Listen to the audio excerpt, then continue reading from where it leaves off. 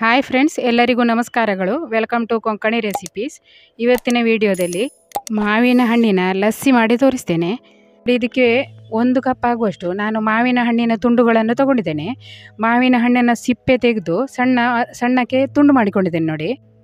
Video ಇಷ್ಟ ಆದರೆ like ಮಾಡಿ. ಹಾಗೆ ಮೊದಲ ಬಾರಿಗೆ ಯಾರಾದರೂ ನನ್ನ ಚಾನೆಲನ್ನು ನೋಡ್ತಿದ್ದೆ ದಯವಿಟ್ಟು ಸಬ್ಸ್ಕ್ರೈಬ್ ಮಾಡಿ.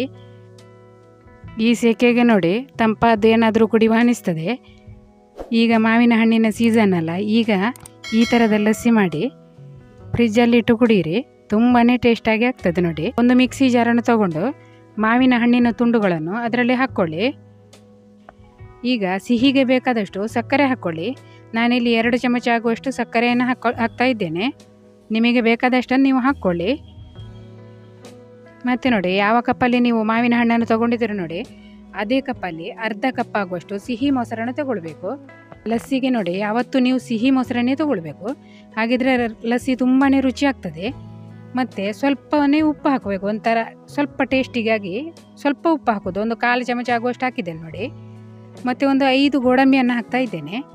ಇದು ಆಪ್ಷನಲ್ ಬೇಕಿದ್ರೆ ಹಾಕ್ಕೊಳ್ಳಿ ನೀವು. ರುಚಿ ಆಗ್ತದೆ ಅಂತ ಹೇಳಿ. ನೀವು ಬೇಕಿದ್ರೆ ಹಾಕ್ಕೊಳ್ಳಿ. ತುಂಬಾ ದಪ್ಪಾಗಿ ಚೆನ್ನಾಗಿ ಆಗ್ತದೆ ಗೋಡಂಬಿ ಹಾಕಿದರೆ.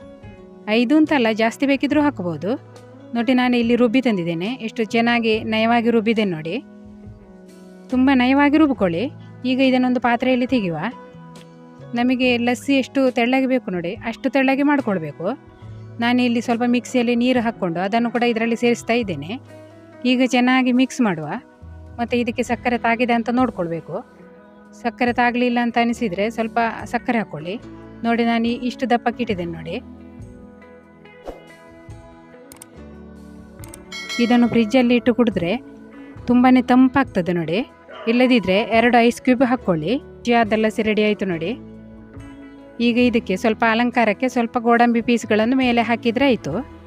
ವಿಡಿಯೋ ಇಷ್ಟ ಆದರೆ ಒಂದು ಲೈಕ್ ಮಾಡಿ. ಹಾಗೆ ಚಾನಲನ್ನು ಸಬ್ಸ್ಕ್ರೈಬ್ ಮಾಡ್ಕೊಳ್ಳಿ. ಮುಂದಿನ ವಿಡಿಯೋದಲ್ಲಿ ಸಿಗೋಣ. ವಿಡಿಯೋ ವೀಕ್ಷಿಸುವ ಎಲ್ಲರಿಗೂ ಧನ್ಯವಾದಗಳು.